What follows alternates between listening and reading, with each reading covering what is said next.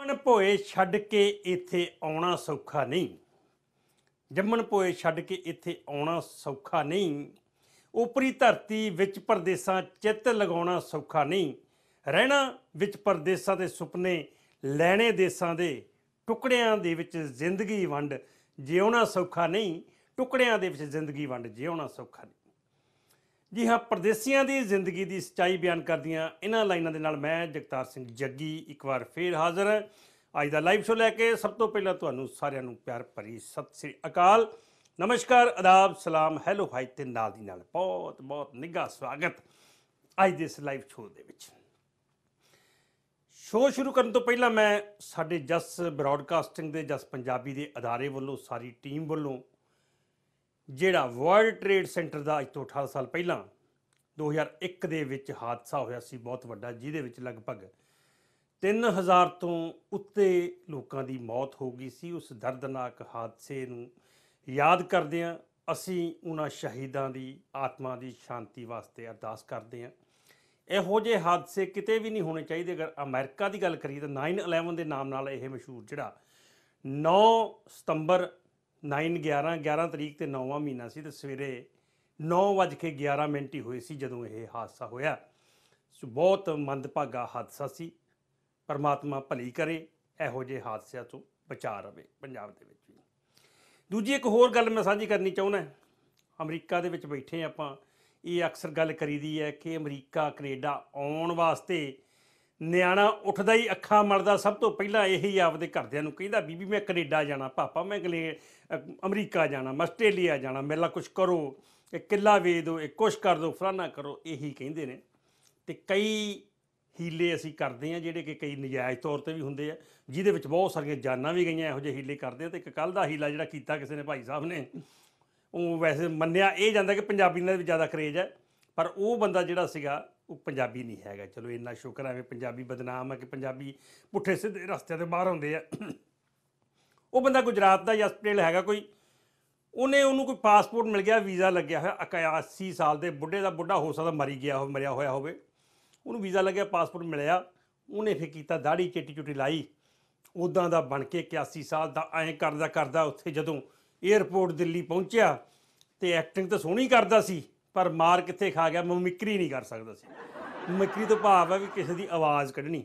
ਆਵਾਜ਼ ਉਹਦੇ ਕੋਲ ਬੁੜਿਆਂ ਵਾਲੀ ਨਹੀਂ ਨਿਕਲੀ ਤੇ ਇਸ ਕਰਕੇ ਉਹ ਫਸ ਗਿਆ। ਇਹੋ ਜਿਹੇ ਕੰਮ ਤੋਂ ਬਚਾ ਬਚਣਾ ਚਾਹੀਦਾ ਗੱਲਾਂ ਪਤਾ, ਖੈਰ ਆਪਾਂ ਜਿਹੜੀ ਅੱਜ ਦੇ ਪ੍ਰੋਗਰਾਮ ਦੀ ਗੱਲ ਕਰੀ ਦੀ ਤੁਹਾਡੇ ਨਾਲ, ਉਹ ਹੁੰਦਾ ਤੁਹਾਡਾ ਸੁਨੇਹੇ ਜਿਹੜੇ ਹੈਗੇ ਨੇ ਈਮੇਲ ਮੇਲ ਬਾਕਸ ਦੀ ਗੱਲ ਕਰੀ ਦੀ ਆ। ਉਹਦੇ ਵਿੱਚ ਅੱਜ ਜਿਹੜਾ ਸਭ ਤੋਂ ਪਹਿਲਾ ਸੁਨੇਹਾ ਤੁਹਾਡਾ ਲੈ ਰਿਹਾ, ਸਲੀਮ ਸਿਕੰਦਰ ਨਿਊਯਾਰਕ ਤੋਂ ਇਹਨਾਂ ਨੇ ਪੁੱਛਿਆ ਮੀਆਂ ਬੀਵੀ ਦਾ ਝਗੜਾ ਖਤਮ ਕਰਨ ਲਈ ਕੀ ਕਰਨਾ ਚਾਹੀਦਾ? ਦੱਸੋ ਜੀ, ਦਿਓ ਜਵਾਬ ਇਹਨਾਂ ਨੂੰ ਕੀ ਦਈਏ? ਦੱਸ ਦਿਓ ਮੈਨੂੰ ਕੀ ਜਵਾਬ ਦਈਏ? ਕੁਛ ਨਹੀਂ ਕਰਨਾ ਚਾਹੀਦਾ, ਸਬਰ ਕਰਨਾ ਚਾਹੀਦਾ। ਕੋਸ਼ਿਸ਼ ਇਹ ਕਰੋ, ਝਗੜਾ ਹੋਣ ਹੀ ਨਾ ਦਿਓ, ਪਹਿਲਾਂ ਹੀ ਸੌਰੀ ਮੰਗ ਲਓ। ਪਹਿਲਾਂ ਵੀ ਤੁਹਾਡੇ ਨਾਲ ਗੱਲ ਸਾਂਝੀ ਕੀਤੀ ਹੈ ਕਈ ਵਾਰੀ ਕਿ ਇੱਕ ਮੁੰਡਾ ਆਪਣੇ ਪਿਓ ਨੂੰ ਕਵੇ ਰੋਜ਼ ਵੀ, ਬਾਪੂ, ਮੇਰਾ ਵਿਆਹ ਕਰ ਦਿਓ। ਉਹ ਕਹਿੰਦਾ ਵੀ ਪਹਿਲਾਂ ਬਹੁਤ ਸੌਰੀ ਕਹਿ। ਕਹਿੰਦਾ, ਮੈਂ ਕਾਦੀ ਸੌਰੀ ਕਵਾਂ ਯਾਰ?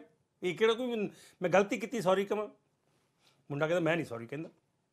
ਚਲੋ, ਚਲੇ ਗਏ ਪੰਜ ਸੱਤ ਦਿਨ ਬਾਅਦ ਫੇਰ ਕਹਿੰਦਾ, ਬਾਪੂ ਜੀ, ਡੈਡੀ ਜੀ, ਮੇਰਾ ਵਿਆਹ ਕਰ ਦਿਓ, ਮੈਂ ਵਿਆਹ ਕਰਾਉਣਾ, ਕੁੜੀ ਮੈਂ ਦੇਖੀ ਹੋਈ ਆ। ਉਹ ਕਹਿੰਦਾ, ਸੋਇਆ, ਤੂੰ ਕਰਾ ਲਈ ਪਹਿਲਾਂ ਸੌਰੀ ਕਹਿ।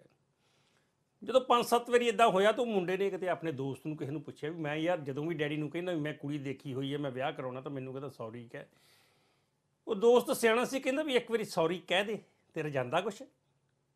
ਉਹਨੇ ਦੁਬਾਰਾ ਜਦੋਂ ਕਿਹਾ, ਬਾਪੂ, ਵਿਆਹ ਕਰਾਉਣਾ ਤਾਂ ਕਹਿੰਦਾ ਸੌਰੀ ਕਹਿ, ਕਹਿੰਦਾ ਸੌਰੀ ਬਾਪੂ, ਕਹਿੰਦਾ ਬਸ, ਹੁਣ ਤੇਰਾ ਵਿਆਹ ਕਰ ਦੇਣਾ। ਉਹ ਕਹਿੰਦਾ ਵੀ ਸੌਰੀ ਨਾਲ ਕੀ ਸੰਬੰਧ ਹੈ? ਉਹ ਕਹਿੰਦਾ ਜੀ, ਸੰਬੰਧ ਹੈਗਾ ਬਾਪੂ, ਕਹਿੰਦਾ ਸਭ ਤੋਂ ਵੱਡਾ ਸੰਬੰਧ ਸੌਰੀ ਦੇ ਨਾਲ ਹੀ ਹੈ। ਬਿਨਾਂ ਗੱਲ ਤੋਂ, ਬਿਨਾਂ ਗਲਤੀ ਤੋਂ ਸੌਰੀ ਮੰਗਣੀ ਆਉਣੀ ਚਾਹੀਦੀ ਹੈ, ਜੇ ਤੁਸੀਂ ਵਿਆਹਤਾ ਜ਼ਿੰਦਗੀ ਸੁਖੀ ਰੱਖਣੀ ਹੈ। ਸੋ ਭਾਈ ਸੌਰੀ ਇੱਕ ਲਫ਼ਜ਼ ਬਣਾਇਆ ਗੋਰਿਆਂ ਨੇ। ਜੇ ਉਹਨੂੰ ਸੌਰੀ ਗੋ ਅੰਗਰੇਜ਼ੀ ਚ ਕਹੀਏ ਤਾਂ ਉਹਦਾ ਪ੍ਰਭਾਵ ਜ਼ਿਆਦਾ ਪੈਂਦਾ। ਜੇ ਕਹੀਏ ਮੈਨੂੰ ਮਾਫ ਕਰ ਦਿਓ ਤਾਂ ਉਹ ਥੋੜਾ ਪ੍ਰਭਾਵ ਨਹੀਂ ਪੈਂਦਾ। ਸੋ ਸੌਰੀ ਜਿਹੜੀ ਹੈ ਇਹਨੂੰ ਯਾਦ ਰੱਖੋ ਬਲਜੀਵਨ ਸਿੰਘ ਯੂਨੀਅਨ ਸਿਟੀ ਤੋਂ। ਉਹ ਕਹਿੰਦੇ ਜੀ, ਕਹਿੰਦੇ ਹਨ ਕਿ ਅੱਖਾਂ ਬੋਲਦੀਆਂ ਨੇ, ਗਾਣਿਆਂ ਵਿੱਚ ਵੀ ਸੁਣਿਆ ਤੁਸੀਂ ਅੱਖਾਂ ਬਾਰੇ ਕੀ ਕਹੋਗੇ? ਦੇਖੋ ਜੀ, ਅੱਖਾਂ ਵੈਸੇ ਤਾਂ ਦਿਖਦੀਆਂ ਹੀ ਆ। ਰੱਬ ਨੇ ਕੰਮ ਇਹਨਾਂ ਨੂੰ ਦੇਖਣ ਦਾ ਦਿੱਤਾ ਸੀਗਾ, ਪਰ ਅਸੀਂ ਇਹ ਬੋਲਣ ਲਾ ਲਈਆਂ। ਅਸੀਂ ਕਿਹੜਾ ਖਾਸ ਤੌਰ ਤੇ ਅਸੀਂ ਜੇ ਕੁੜੀਆਂ ਦੀ ਗੱਲ ਕਰੀਏ ਲੇਡੀਜ਼ ਦੀ ਗੱਲ ਕਰੀਏ, ਉਹਨਾਂ ਦੀਆਂ ਅੱਖਾਂ ਕਹਿੰਦੇ ਜ਼ਿਆਦਾ ਬੋਲਦੀਆਂ। ਅੱਖਾਂ ਤੋਂ ਪਤਾ ਲੱਗ ਜਾਂਦਾ ਵੀ ਗੁੱਸੇ 'ਚ ਆ। ਵੈਸੇ ਅੱਖਾਂ ਦੀ ਜਿਹੜੀ ਲੈਂਗੁਏਜ ਆ, ਉਹ ਤੋਂ ਸੱਚੀ ਮੁੱਚੀ ਪਤਾ ਲੱਗ ਜਾਂਦਾ ਵੀ ਕਿਹੜੀ ਚੀਜ਼ ਕਿੱਦਾਂ ਹੈਗੀ ਆ, ਗੁੱਸੇ 'ਚ ਆ। ਅਗਰ ਖੁਸ਼ ਹੈ ਤਾਂ ਵੀ ਅੱਖਾਂ ਤੋਂ ਪਤਾ ਲੱਗ ਜਾਂਦਾ, ਬੰਦਾ ਰੋਂਦਾ। ਇੱਕ ਚੀਜ਼ ਨਹੀਂ, ਅੱਖਾਂ ਤੋਂ ਪਤਾ ਲੱਗਦੀ, ਜਦੋਂ ਅਥਰੂ ਆਉਂਦੇ ਆ, ਇਹ ਨਹੀਂ ਪਤਾ ਲੱਗਦਾ ਵੀ ਇਹ ਖੁਸ਼ੀ ਦੇ ਹੈ ਕਿ ਗਮੀ ਦੇ ਆ। ਖੈਰ, ਉਹ ਵੀ ਪਤਾ ਲੱਗ ਜਾਂਦਾ। ਪਰ ਅੱਖਾਂ ਕਹਿੰਦੇ ਵੀ ਇਸੇ ਬੜਾ ਹਮਦਰਦ ਇੱਕ ਦੂਸਰੇ ਦਾ ਕੌਣ ਹੋਗਾ? एक रोती है तो दूसरी भी रो देती है ਕੱਲੀ ਅੱਖ ਕਦੇ ਰੋਂਦੀ ਨਹੀਂ ਦੇਖੀ ਪਰ ਅੱਖਾਂ ਦਾ ਇਹ ਹੈ ਵੀ ਐਸੀ ਅੱਖ ਹੈਗੀ ਇਹ ਅੱਖਾਂ ਜਿਹੜੀਆਂ ਡੇਢ ਕੁ ਇੰਚ ਦੇ ਫਰਕ ਤੇ ਨੇ ਦੋਨੋਂ ਜੇ ਇੱਕ ਅੱਖ 'ਚ ਮੱਛਰ ਪੈ ਜੇ ਦੂਜੀ ਅੱਖ ਇੰਨੀ ਚੰਦਰੀ ਆ ਵੀ ਉਹਨੂੰ ਦੱਸਦੀ ਨਹੀਂ ਵੀ ਇੱਥੇ ਇੱਕ ਮੱਛਰ ਕੱਢ ਲੈ ਕਿਸੇ ਕੋਈ ਕਢਾਉਣਾ ਪੈਂਦਾ ਸੋ ਅੱਖਾਂ ਜਿਹੜੀਆਂ ਹੈਗੀਆਂ ਅੱਖਾਂ ਬਾਰੇ ਗਾਣੇ ਵੀ ਬੜੇ ਬਣੇ ਨੇ ਅੱਖਾਂ ਬਾਰੇ ਗੱਲਾਂ ਵੀ ਬਹੁਤ ਬਣੀਆਂ ਨੇ ਤੇ ਅੱਖਾਂ ਬਾਰੇ ਅੱਖਾਂ ਵੀ ਬਹੁਤ ਬਣੀਆਂ ਨੇ। ਇਹ ਇਹ ਇਹ ਵੈਸੇ ਇੱਕ ਚੀਜ਼ ਜਿਹੜੀ ਹੈ ਸਿਆਣੇ ਕਹਿੰਦੇ, ਇੱਕ ਫਿਲਮ ਦੇ ਵਿੱਚ ਡਾਇਲੌਗ ਸੀਗਾ ਕਿ ਆਂਖੇ ਵੀ ਸਿਰਫ ਰੋਸ਼ਨੀ ਮੇ ਹੀ ਦੇਖ ਸਕਦੀ ਹੈ। ਹਨੇਰੇ 'ਚ ਇਹ ਵੀ ਨਹੀਂ ਦੇਖ ਸਕਦੀ, ਇਹਨਾਂ ਨੂੰ ਵੀ ਦੇਖਣਾ ਵਾਸਤੇ। ਰੋਸ਼ਨੀ ਚਾਹੀਦੀ ਹੈ, ਸੋ ਧਿਆਨ ਰੱਖੋ, ਅੱਖਾਂ ਦਾ, ਦੰਦਾਂ ਦਾ ਬਾਅਦ ਦੇ ਵਿੱਚ ਪਤਾ ਲੱਗਦਾ ਜਦੋਂ ਫਿਰ ਅਸੀਂ ਧਿਆਨ ਨਹੀਂ ਰੱਖਦੇ ਤਾਂ ਫਿਰ ਕਹਿੰਦੇ, ਯਾਰ, ਆਹ ਕੀ ਹੋ ਗਿਆ? ਚਲੋ, ਮੇਰੇ ਵੀ ਲੱਗੀਆਂ ਹੋਈਆਂ ਐਨਕਾਂ ਤੇ ਐਸੀ ਗੱਲ ਨਹੀਂ, ਪਰ ਐਨਕਾਂ ਨਾਲ ਇਹਦਾ ਮਤਲਬ ਇਹ ਨਹੀਂ ਕਿ ਅੱਖਾਂ ਖਰਾਬ ਹੋ ਗਈਆਂ। ਐਨਕਾਂ ਹੁਣ 2.5 ਸਾਲ ਦੇ ਨਿਆਣੇ ਨੂੰ ਤਿੰਨ ਨੰਬਰ ਐਨਕ ਲੱਗੀ ਹੁੰਦੀ ਅੱਜ ਕੱਲ ਇਹ ਹਾਲ ਹੈਗਾ, ਬਸਤਾ ਪਾਇਆ ਹੁੰਦਾ, ਪਿੱਛੇ 2.5 ਸਾਲ ਦਾ ਹੁੰਦਾ ਤਾਂ ਤਿੰਨ ਨੰਬਰ ਐਨਕ ਲੱਗੀ ਹੁੰਦੀ, ਤਾਂ ਐਨਕ ਦਾ ਭਾਰ ਉਹਦੇ ਸਿਰ ਨਾਲੋਂ ਜ਼ਿਆਦਾ ਲੱਗਦਾ ਹੁੰਦਾ ਉਹਨੂੰ। ਚਲੋ, ਖੈਰ। ਅਗਲਾ ਹੈ ਜੀ, ਕਸ਼ਮੀਰ ਕੌਰ ਜੀ ਬ੍ਰੈਂਪਟਨ ਤੋਂ ਇਹਨਾਂ ਨੇ ਪੁੱਛਿਆ ਕਿ ਪੁਰਾਣੇ ਜ਼ਮਾਨੇ ਵਿੱਚ ਲੋਕ ਪੜ੍ਹਾਈ ਕਿਉਂ ਨਹੀਂ ਸੀ ਕਰਦੇ? ਪੜ੍ਹਾਈ ਕਿਉਂ ਨਹੀਂ ਕਰਦੇ ਹੁਣ ਜੀ? ਇਹ ਤਾਂ ਹੁਣ ਅਮ, ਲੋਕੀ ਹੀ ਦੱਸ ਸਕਦੇ ਕਿਉਂ ਨਹੀਂ ਕਰਦੇ? ਵੈਸੇ ਮੇਰਾ ਖਿਆਲ ਇਹ ਹੈ ਕਿ ਪੜ੍ਹਾਈ ਦੇ ਬਾਲੇ ਸਾਧਨ ਨਹੀਂ ਸੀ ਹੁੰਦੇ ਉਦੋਂ। ਜਾਂ ਪੜ੍ਹਾਈ ਦੀ ਜ਼ਰੂਰਤ ਮਹਿਸੂਸ ਨਹੀਂ ਸੀ ਹੁੰਦੀ ਪਿੰਡਾਂ ਦੇ ਵਿੱਚ ਵੀ ਪੜ੍ਹ ਲਿਖ ਕੇ ਕਿਹੜਾ ਡੀਸੀ ਲੱਗਣਾ ਹੈ। ਠੀਕ ਹੈ? ਖੇਤੀ ਹੋਈ ਕਰਨੀ ਹੈ। ਐਵੇਂ ਪੈਸੇ ਖਰਾਬ ਕਰੋ ਟਾਈਮ ਖਰਾਬ ਕਰੋ। ਚੱਲ ਖੇਤ ਨੂੰ ਚੱਲ ਪਠ ਪਸ਼ੂ ਨੂੰ ਪਾ ਪੱਠੇ ਉੱਠ ਕੇ। ਐਵੇਂ ਮਾਰਦਾ ਪੜ੍ਹਦਾ ਪੜ੍ਹਦਾ ਪੜ੍ਹਦਾ ਜੇ ਕੋਈ ਜਵਾਕ ਕਹਿੰਦਾ ਵੀ ਹੁੰਦਾ ਸੀਗਾ। ਵੈਸੇ ਮੈਂ ਸਮਝਦਾ ਵੀ ਜੇ ਪਹਿਲੇ ਸਮਿਆਂ ਦੇ ਵਿੱਚ ਲੋਕ ਨਹੀਂ ਸੀ ਪੜ੍ਹਦੇ, ਨਿਆਣੇ ਨਹੀਂ ਸੀ ਪੜ੍ਹਦੇ, ਤੇ ਉਹਦੇ ਵਿੱਚ ਜ਼ਿਆਦਾ ਕਸੂਰ ਦਾਦੀਆਂ ਤੇ ਨਾਨੀਆਂ ਦਾ ਹੈ। ਹੁਣ ਤੁਸੀਂ ਕਹੋਗੇ ਵੀ ਨਿਆਣਿਆਂ ਦੇ ਨਾ ਪੜ੍ਹਨ ਦੇ ਵਿੱਚ ਦਾਦੀਆਂ ਤੇ ਨਾਨੀਆਂ ਦਾ ਕੀ ਕਸੂਰ ਹੈ? ਬਿਲਕੁਲ ਹੈਗਾ ਜੀ।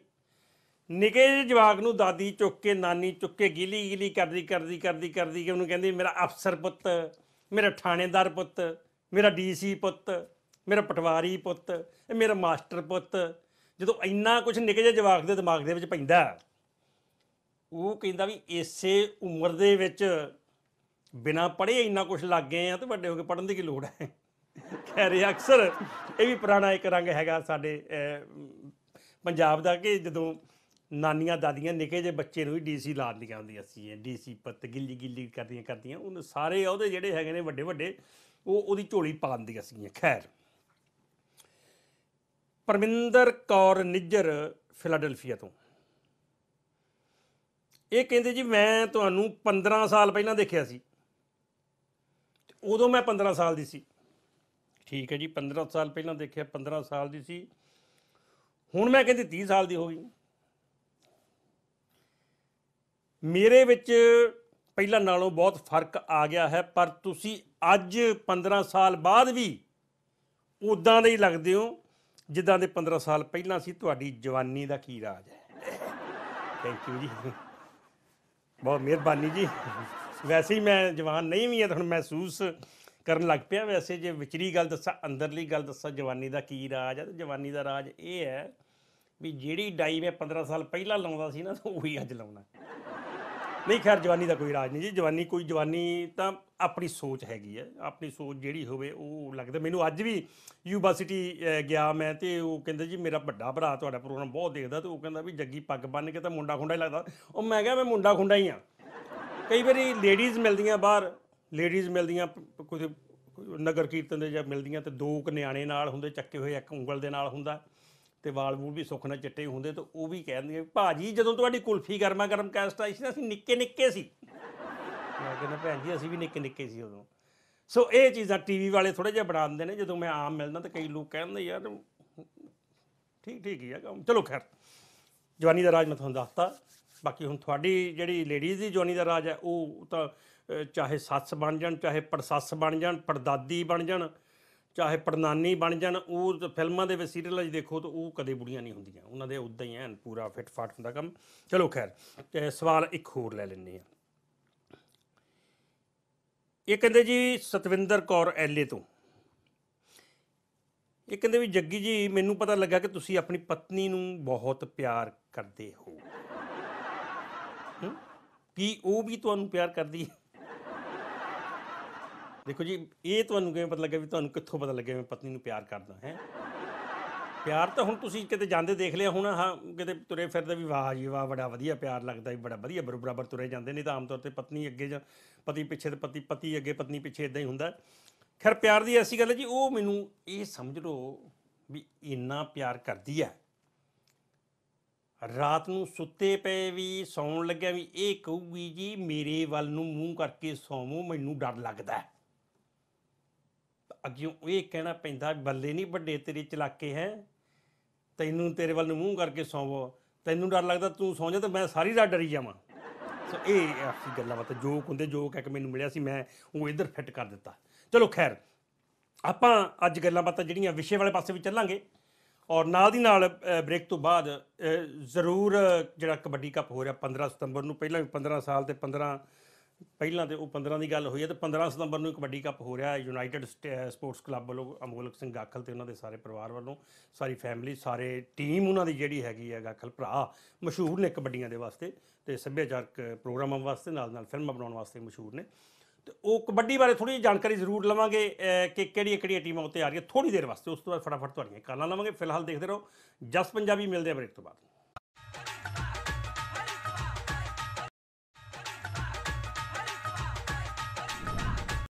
ਬ੍ਰੇਕ ਤੋਂ ਬਾਅਦ ਸਵਾਗਤ ਜੀ ਤੁਹਾਡਾ। ਕਾਲਾਂ ਤੁਹਾਡੀਆਂ ਫਟਾਫਟ ਆਉਣੀਆਂ ਸ਼ੁਰੂ ਹੋ ਗਈਆਂ। ਮੈਂ ਬਸ ਥੋੜੀ ਦੇਰ ਵਾਸਤੇ ਮਾਫੀ ਮੰਗੂੰਗਾ, ਉਸ ਤੋਂ ਬਾਅਦ ਫਟਾਫਟ ਕਾਲਾਂ ਲਵਾਂਗੇ।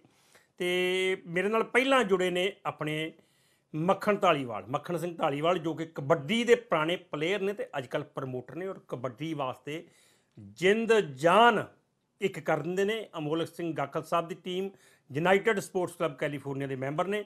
ਇਹਨਾਂ ਨਾਲ ਪਹਿਲਾਂ ਗੱਲਬਾਤ ਕਰਦੇ ਮੱਖਣ ਢਾਲੀਵਾਲ ਸਾਹਿਬ, ਸਤਿ ਸ਼੍ਰੀ ਅਕਾਲ। ਤੁਹਾਡਾ ਸਵਾਗਤ ਜੀ ਪ੍ਰੋਗਰਾਮ ਦੇ ਵਿੱਚ।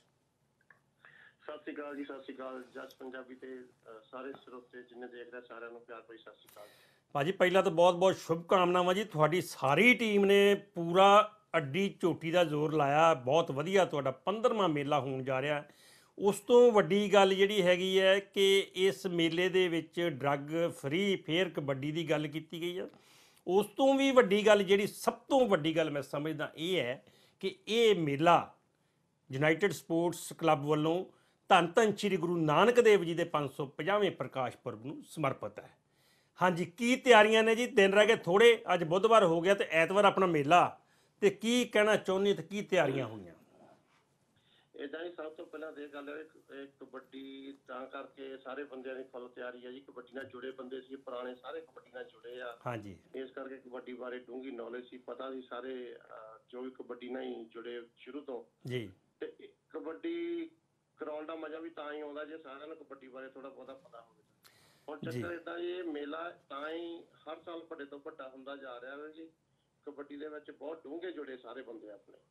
ਜੀ। ਦੂਜੀ ਗੱਲ ਇਹ ਆ ਜੀ ਮੇਲੇ ਦੀ ਤਿਆਰੀ ਐਤਕੀ ਬਹੁਤ ਹੀ ਸ਼੍ਰੀ ਗੁਰੂ ਨਾਨਕ ਦੇਵ ਜੀ ਮਹਾਰਾਜ ਦੇ ਪ੍ਰਕਾਸ਼ ਉਤਸਵ ਦੇ ਇਹ ਮੇਲਾ ਹੋ ਰਿਹਾ। ਆਸਿਆ ਵੀ ਬਹੁਤ ਜ਼ਿਆਦਾ ਭਰੂਗਾ ਕਿਉਂਕਿ ਬਹੁਤ ਵੱਡੀਆਂ ਟੀਮਾਂ ਐਤਕੀ ਬਣੀਆਂ ਆ ਜੀ। ਇੰਡੀਆ ਤੋਂ ਕੋਈ ਪਲੇਅਰ ਇਦਾਂ ਦਾ ਨਹੀਂ ਰੁਕਿਆ ਜਿਹਦੇ ਦਾ ਵੀਜ਼ਾ ਲੱਗਾ ਹੋਵੇ ਤੇ ਇੱਥੇ ਨਾ ਪਹੁੰਚਿਆ ਹੋਵੇ। ਸਪੈਸ਼ਲ ਇਸ ਟੂਰਨਾਮੈਂਟ ਲਈ ਕਈ ਪਲੇਅਰ ਸਪੈਸ਼ਲ ਟਰੈਵਲ ਕਰ ਰਹੇ ਇੱਥੇ ਆ ਰਹੇ ਆ। ਤੇ ਦੂ ਟੀਮਾਂ ਚਾਰੇ ਚਾਰ ਟੀਮਾਂ ਜਿਹੜੀਆਂ ਵੱਡੀਆਂ ਬਣੀਆਂ ਬਹੁਤ ਹੀ ਬੈਲੈਂਸ ਬਹੁਤ ਹੀ ਕਹਿ ਦਈਏ ਵੀ ਸਟਾਰ ਪਲੇਅਰਾਂ ਨਾਲ ਭਰੀਆਂ ਬਣੀਆਂ। ਜੀ ਮੱਖਣ ਭਾਜੀ ਵੈਸੇ 15 16000 ਦਾ ਇਕੱਠ ਤਾਂ ਪਹਿਲਾਂ ਵੀ ਹੋ ਜਾਂਦਾ ਆਰਾਮ ਨਾਲ ਤੇ ਐਤਕੀ ਗਾਖਲ ਸਾਹਿਬ ਦੱਸਦੇ ਸੀ ਵੀ 20 25 20 ਤੋਂ ਟੱਪਣ ਦੀ ਸੰਭਾਵਨਾ ਹੈਗੀ ਇਕੱਠ ਦੀ ਉੱਥੇ 20000 ਤੋਂ। ਦੇਖੋ ਜੀ ਜਿਸ ਹਿਸਾਬ ਨਾਲ ਬਾਹਰੋਂ ਰਿਪੋਰਟਾਂ ਆ ਰਹੀਆਂ ਆ ਬਾਕੀ ਮਹਾਰਾਜ ਦੀ ਕਿਰਪਾ ਦੇ ਨਾਲ ਲੱਗਦਾ ਵੀ ਅੱਜ 25 ਤੋਂ ਟੱਪੂਗਾ ਜੀ। ਜੀ ਅੱਛਾ ਤੁਸੀਂ ਆਪਣੇ ਬਾਰੇ ਥੋੜੀ ਜਾਣਕਾਰੀ ਦਿਓ ਤੁਸੀਂ ਕਬੱਡੀ ਕਿਹੜੇ ਸੰਚ ਖੇਡਦੇ ਹੁੰਦੇ ਸੀ? ਮੈਂ ਭਾਜੀ ਕਬੱਡੀ ਖੇਡਿਆ ਜੀ 1990 ਤੋਂ ਲੈ ਕੇ 2006 ਤੱਕ। ਵਾਹ ਜੀ ਵਾਹ। ਫਿਰ ਉਸ ਤੋਂ ਬਾਅਦ ਚ ਮੈਂ ਇੰਡੀਆ ਮੇਰੀ ਬੀਡੀ ਸਪੋਰਟਸ ਕਲੱਬ ਅਸੀਂ ਬਣਾਈ ਸੀਗੀ। ਜੀ। ਜਿਹਦੇ ਵਿੱਚ ਤੀਰਥ ਕਾਕਲ ਤੇ ਜੌਨ ਸਿੰਘ ਗਿੱਲ ਭਾਜੀ ਤੇ, ਸਾਰੇ ਸਪੋਰਟ ਕਰਦੇ ਸੀ ਮੁਲਕ ਭਾਜੀ ਹੁਣੀ। ਸਾਰੇ ਅਸੀਂ ਇੱਕ ਅਮਰੀਕਾ ਨਾਰਥ ਅਮਰੀਕਾ ਦੀ ਟੀਮ ਬਣਾਈ ਸੀਗੀ। ਤੇ ਉਹ ਬਹੁਤ ਵਧੀਆ ਤਰੀਕੇ ਨਾਲ ਚੱਲ ਰਹੀ ਸੀਗੀ। ਕੈਨੇਡਾ ਤੋਂ ਵੀ ਸਾਡੇ ਭਰਾ ਸੀਗੇ ਸਾਡੀ ਸਪੋਰਟ ਕਰਦੇ। ਉਹ 12 13 ਸਾਲ ਉਹ ਕਬੱਡੀ ਅਕੈਡਮੀ ਅਸੀਂ ਚਲਾਈ ਆ। ਜੀ। ਤੇ ਸਾਰੇ ਭਰਾਵਾਂ ਦੇ ਸਹਿਯੋਗ ਨਾਲ। ਅੱਛਾ। ਸਾਡੇ ਲੱਡੂ ਭਾਜੀ ਬਿੱਤਰ ਭਾਜੀ ਪਾਉ ਨਹੀਂ ਪੰਤ ਭਾਜੀ ਹੁਣੀ ਸਾਰੇ ਸੀਗੇ। ਤੇ ਵਧੀਆ ਚੱਲੀ ਸਾਡੀ ਉਹ ਇੱਕ ਸਵਾਲ ਸਾਡੇ ਦਰਸ਼ਕਾਂ ਵਾਸਤੇ ਤੁਹਾਡੇ ਕੋਲੋਂ ਇਹ ਹੈ ਕਿ ਕਬੱਡੀ ਪੰਜਾਬ ਦੇ ਵਿੱਚ ਵੀ ਕਾਫੀ ਸਰਗਰਮ ਹੋਈ ਹੈ। ਕੀ ਤੁਹਾਨੂੰ ਲੱਗਦਾ ਕਿ ਕਬੱਡੀ ਅਗਰ ਹੋਰ ਸਰਗਰਮ ਹੁੰਦੀ ਹੈ ਬੱਚੇ ਸਾਡੇ ਨੌਜਵਾਨ ਸਾਡੇ ਕਬੱਡੀ ਵੱਲ ਨੂੰ ਆਉਂਦੇ ਨੇ ਤੇ ਪੰਜਾਬ ਦੇ ਵਿੱਚ ਨਸ਼ਿਆਂ ਨੂੰ ਕੋਈ ਠੱਲ ਪੈ ਸਕਦੀ? ਲੱਗਦਾ ਤੁਹਾਨੂੰ ਇਹ ਕੁਝ ਬਹੁਤ ਬਹੁਤ ਜੀ ਬਹੁਤ। ਇੱਕ ਕਬੱਡੀ ਜਿਹੜੀ ਦੇਖੋ ਜੀ ਕਬੱਡੀ ਇੱਕ ਬਹੁਤ ਵਧੀਆ ਉਪਰਾਲਾ ਆ ਪੰਜਾਬ ਦੀ ਜਵਾਨੀ ਨੂੰ ਨਸ਼ਿਆਂ ਤੋਂ ਬਚਾਉਣ ਦਾ। ਜੀ। ਹੀ ਵਧੀਆ ਉਪਰਾਲਾ ਆ। ਤੇ ਹੁਣ ਕਬੱਡੀ ਹੋਰ ਵੀ ਪਪੂਲਰ ਹੋ ਗਈ ਕਿਉਂਕਿ ਕਬੱਡੀ ਬਾਲੀਵੁੱਡ 'ਚ ਜਾ ਵੜੀ ਆ ਜੀ ਨੈਸ਼ਨਲ ਸਟਾਰ ਕਬੱਡੀ। ਤੁਸੀਂ ਦੇਖੋ ਲੀਗ ਹੋ ਰਹੀ ਆ। ਹੂੰ। ਇਸ ਕਰਕੇ ਕਬੱਡੀ ਹੁਣ ਇਹ ਨਹੀਂ ਕੱਲੀ ਪੰਜਾਬ 'ਚ ਹੀ ਰਹਿ ਗਈ ਆ ਹੁਣ ਤਾਂ ਆਪਣੇ ਘਰ ਘਰ 'ਚ ਹੀ ਕਬੱਡੀ ਪਹੁੰਚ ਗਈ ਆ। ਕਿੰਨੇ ਕੁ ਫੇ ਮੋਟਰਸਾਈਕਲ ਜਿੱਤੇ ਉਦੋਂ ਤੁਸੀਂ? ਕਿੰਨੇ ਕੁ ਮੋਟਰਸਾਈਕਲ ਜਿੱਤੇ ਉਦੋਂ? ਦੇਖੋ ਇਹ ਟਰੈਕਟਰ। ਤੇ ਅਹ, ਘਿਓ ਦੇ time ਪੀਪੇ। time ਤੇ ਜੋ ਕੁਝ ਹੋਇਆ ਜੀ ਕਰਦੇ ਰਹੇ। ਸਾਰਾ ਵਧੀਆ ਚਲੋ। ਉਸ ਟਾਈਮ ਤੇ ਹਾਂਜੀ। ਚਲੋ ਮਿਹਰਬਾਨੀ ਜੀ ਤੁਹਾਡੀ। ਮੈਂ ਤੀਰਥ ਗਾਖਲ ਸਾਹਿਬ ਨਾਲ ਵੀ ਥੋੜੀ ਦੇਰ ਗੱਲਬਾਤ ਕਰਦਾ ਤੇ ਤੁਹਾਡਾ ਬਹੁਤ ਧੰਨਵਾਦ ਮੱਖਣ ਭਾਜੀ ਬਾਕੀ 14 ਤਰੀਕ ਨੂੰ ਤੁਸੀਂ ਰੇਡਰ ਸੀ ਕਿ ਸਟਾਪਰ ਸੀ ਮੈਂ ਸਟਾਪਰ ਸੀਗਾ ਭਾਜੀ ਤੇ 14 ਨੂੰ ਆਪਾਂ ਲਾਈਵ ਪ੍ਰੋਗਰਾਮ ਕਰਨਾ ਕਲਾ ਕਲਾਕਾਰਾਂ ਨਾਲ ਤੇ ਫਿਰ ਆਪਾਂ ਤੁਹਾਡੇ ਦੇਖਦੇ ਮੈਂ ਰੇਡ ਪਾਉਂਗਾ ਤੁਸੀਂ ਸਟਾਪ ਕਰੋ ਮੈਨੂੰ। ਬਿਲਕੁਲ ਠੀਕ ਹੈ।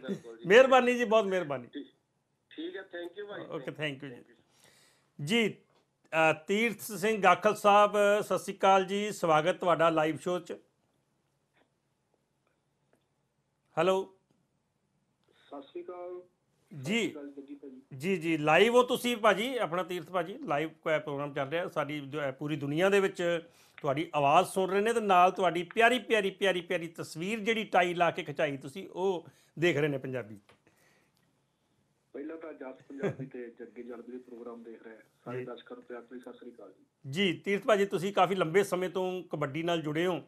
ਪਹਿਲਾਂ ਕਬੱਡੀ ਖੇਡਦੇ ਰਹੇ ਹੋ ਪੰਜਾਬ ਦੇ ਕਹਿੰਦੇ ਜਿਹੜੇ ਕਹਿੰਦੇ ਕਹਾਉਂਦੇ ਪਲੇਅਰਾਂ ਦੇ ਵਿੱਚੋਂ ਤੁਹਾਡਾ ਨਾਮ ਆਉਂਦਾ ਹੈ। ਤੁਸੀਂ ਰੇਡਰ ਸੀ ਕਿ ਸਟਾਪਰ ਸੀ? ਮੈਂ ਸਟਾਪਰ ਸੀਗਾ ਜੀ। ਤੁਸੀਂ ਵੀ ਸਟਾਪਰ ਸੀਗੇ। ਚਲੋ ਤੇ ਹੁਣ ਆਪਾਂ ਗੱਲ ਕਰੀਏ ਟੀਮਾਂ ਕਿਹੜੀਆਂ ਕਿਹੜੀਆਂ ਆ ਰਹੇ ਨੇ? ਵੱਡੀਆਂ ਟੀਮਾਂ ਚਾਰ ਜਿਵੇਂ ਗੱਲ ਕਰਦੇ ਨੇ ਕਰਦੇ ਆਪਾਂ ਪਰ ਟੀਮਾਂ ਤਾਂ ਹੋਰ ਵੀ ਹੈਗੀਆਂ ਛੋਟੀਆਂ ਟੀਮਾਂ ਵੀ ਜਿਹੜੀਆਂ ਉਹਨਾਂ ਦਾ ਵੀ ਜ਼ਿਕਰ ਜ਼ਰੂਰ ਕਰੀਏ ਆਪਾਂ ਸਾਡੇ ਦਰਸ਼ਕਾਂ ਵਾਸਤੇ। ਬੱਚੇ ਜਿਹੜੇ ਸਾਡੇ ਹਜੇ ਆ ਰਹੇ ਨੇ ਉੱਭਰ ਰਹੇ ਨੇ ਉਹਨਾਂ ਦਾ ਵੀ ਜ਼ਿਕਰ ਜ਼ਰੂਰ ਕਰੋ ਤੇ ਬਾਕੀ ਵੱਡੀਆਂ ਟੀਮਾਂ ਦਾ ਜ਼ਿਕਰ ਕਰੋ ਫਿਰ ਵੱਡੀ ਟੀਮ ਆਪਣੀ ਨਿਊਯਾਰਕ ਤੋਂ ਆ ਰਹੀ ਹੈ ਜੀ ਤੇ New York sports club? New York sports club ਹਾਂਜੀ। ਤੇ ਹਾਂਜੀ। ਕੈਨੇਡਾ ਤੋਂ ਟੀਮ ਆ ਰਹੀ ਹੈ ਕੈਨੇਡਾ ਕਬੱਡੀ ਕਲੱਬ ਜਿਹੜੀ ਹੈ।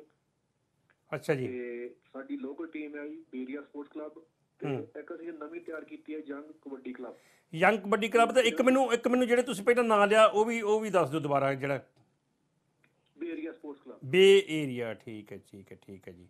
ਤੇ ਤੁਸੀਂ ਕਿਹੜੀ ਨੂੰ ਦੇਖ ਰਹੇ ਹੋ? ਤੁਸੀਂ ਸਾਰੀਆਂ ਨੂੰ ਦੇਖ ਰਹੇ ਹੋ?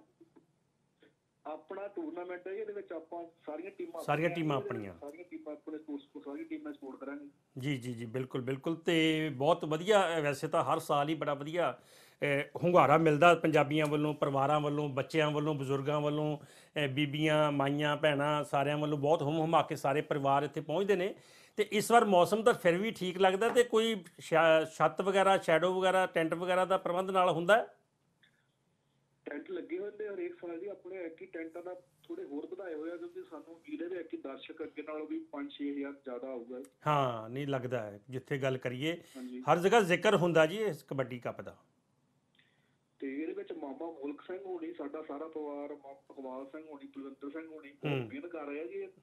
ਤੇ ਜਿੰਨੇ ਵੀ ਸਾਡੇ ਭਰਾ ਆ ਆਪਣੇ ਸੋਤਾ ਬ੍ਰਦਰ ਤੇ ਇੱਕ ਸੱਭਿਆਚਾਰ ਸ਼ਖਸੀਅਤ ਆ ਸਾਡੀ ਆਪਣੀ ਸ਼ੌਕ ਭੋਰਾ ਜੀ। ਉਹਨਾਂ ਹੂੰ ਨੂੰ ਅਸੀਂ ਹੌਲੀ ਹੌਲੀ ਕਬੱਡੀ 'ਚ ਲੈ ਕੇ ਆਏ ਆ। ਨਹੀਂ ਉਹਨਾਂ ਨੂੰ ਖੇਡ ਉਹ ਖੇ- ਤਾਂ ਜੀ ਸਾਡੇ ਨਾਲ ਵੀ ਮੋਹਰੇ ਹੋ ਕੇ ਕੰਮ ਕਰ ਰਹੇ ਆ। ਤੀਰਥ ਭਾਜੀ ਕਬੱਡੀ 'ਚ ਲੈ ਖੇਡਣ ਨਾਲ ਲਾ ਲਿਓ ਉਹਨਾਂ ਨੂੰ ਹੁਣ।